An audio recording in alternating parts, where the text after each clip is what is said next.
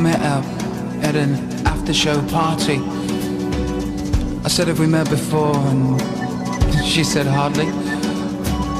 She had a curry stain that was down her cardi, but her teeth were clean. So I said smartly, I am falling in love again. I'm so in lust with you.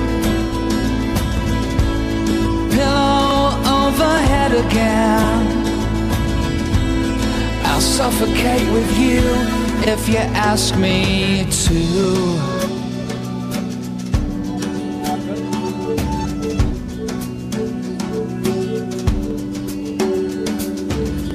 She was educated at this school called RADA. She was made to go by her mother and financed by her father. She said room 211 and I said rather. I got her name wrong once or twice. I said I'll call you Carol. Yeah, she said that would be nice. I'm falling in love again. I'm so in lust with you. My pillow overhead again. I'll suffocate with you if you ask me to.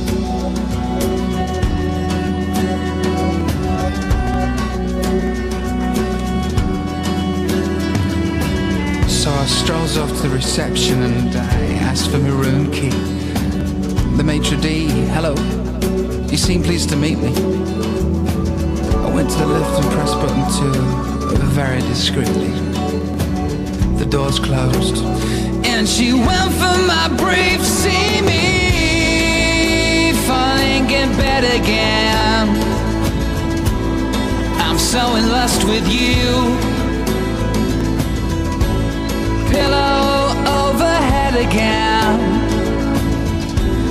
I'll suffocate in you if you ask me to.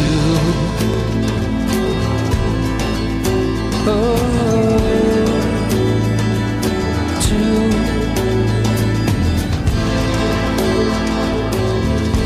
Then in the throes of passion it hit me right between the head. I looked down at her. She had a piece of cabbage stuck between her teeth, and I said, "I think I'm in.